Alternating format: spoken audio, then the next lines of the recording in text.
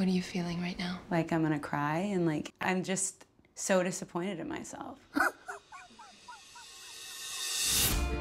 My breakup was hard because I loved her. It's hard to forgive myself. Is what I'm doing with my life good enough, meaningful enough? Who are you? What's the deeper truth? Let's do it.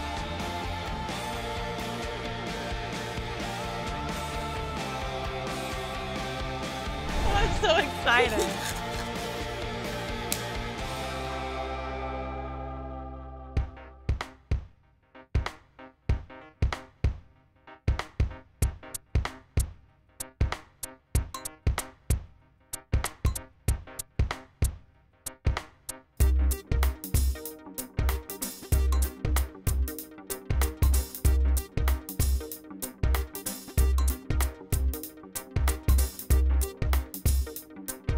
Spiritual psychology is the study and the experience of the human consciousness. I thought I would just start by asking you if you had an intention.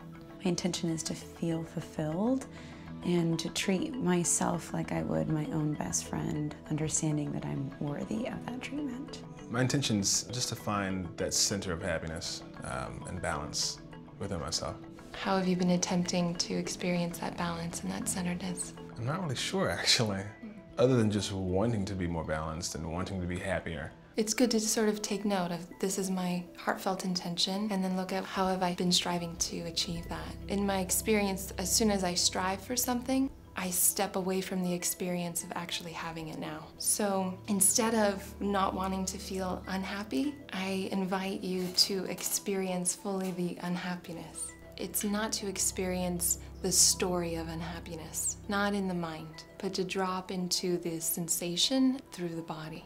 Is there some part of you that feels unlovable? It comes up when I play soccer. I play professionally and I can't play pickup soccer without wanting to live up to other people's expectations. Yay for me, first therapy session ever on camera. It's bizarre and wild.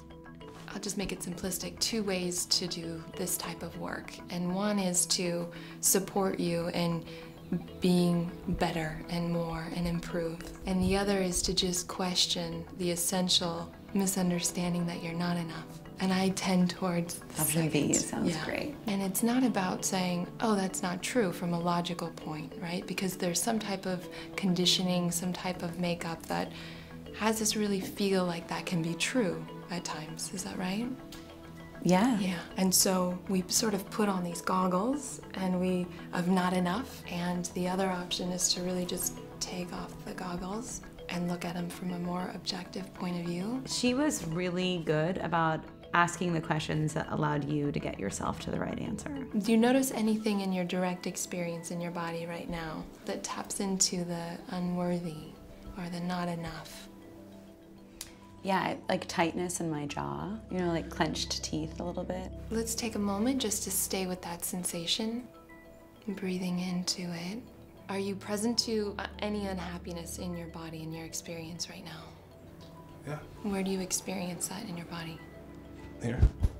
Without thinking about it, just staying with the direct experience in your chest. Just breathe into it without trying to change it. I was in a relationship for four years. Yeah, it sucks that we're not together anymore. And what do you notice? It's okay just to let whatever come up.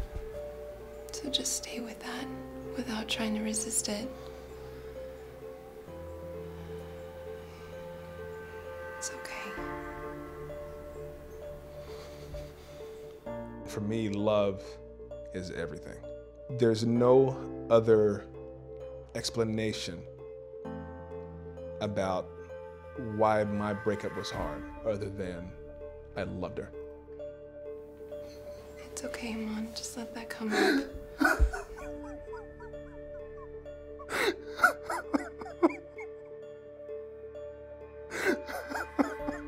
The hardest part has been accepting the reality that my own faults had a lot to do with it.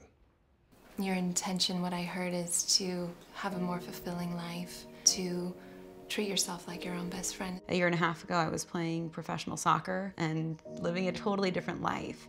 So I'm really at a place of finding out like what it is that I want to pursue. It was what I'm doing with my life good enough, big enough, meaningful enough. And I'm wondering if you would be open to trying a process where we let this energy that's alive of not enough speak in this chair and speak to this loving, supportive, nurturing best friend.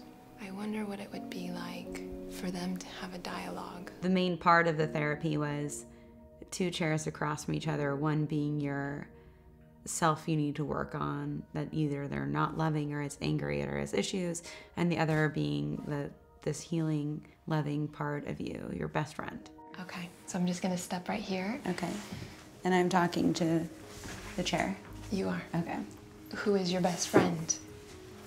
oh so after like years of being this prodigy and getting called up to all these different teams, like it hit my senior year that I was never really gonna make it. I was captain of the team. I felt the weight to like carry this team on my shoulders. And I remember I kept missing passes.